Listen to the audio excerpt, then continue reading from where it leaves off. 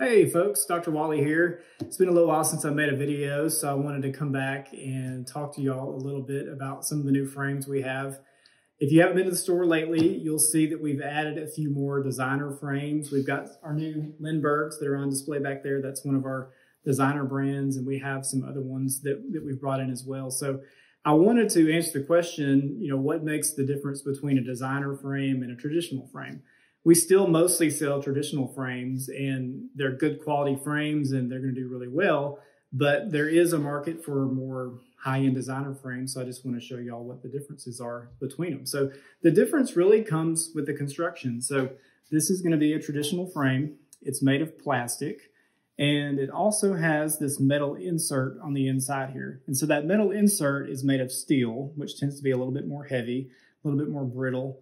And then you've also got the hinges here. So you can see the hinges, I don't know how well you can see that, but it has two pieces there. The piece that's right here will tend to, over time, as you take this off and on, one of the, the weak points I see is this will actually separate. And so people will bring me glasses sometimes where this piece has completely separated from the temple. And once it does that, besides using super glue or soldering gun, we can't really fix it. We basically just have to replace the frame at that point. So you can see this is an ethnicity frame. It's a little bit nicer quality frame. The temples are made of titanium, which is more flexible and lightweight. And then you can see on the hinges here, it actually has a piece here that screws in. So it actually screws in there, and this is actually welded and mounted to the frame. So that little barrel is never going to come off like that. It's never going to break. Now, not to say it won't break if you sleep on it or you step on it or something like that, but generally it's going to hold up over time with wear and tear. So that's the difference between some plastic frames. And now we have some rimless frames over here.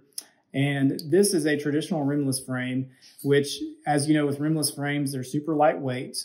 And the difference in construction is going to be here in the temple. You have a plastic temple and then it's got your metal insert. And then the hinge is made very similar to the other hinge there. It's a little bit nicer hinge there.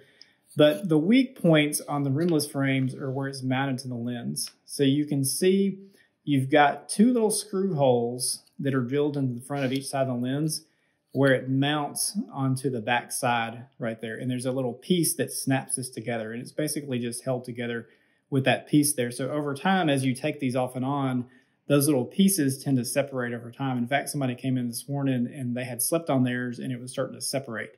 So to fix that, we have to send it back to the lab and get it remounted to the lens there.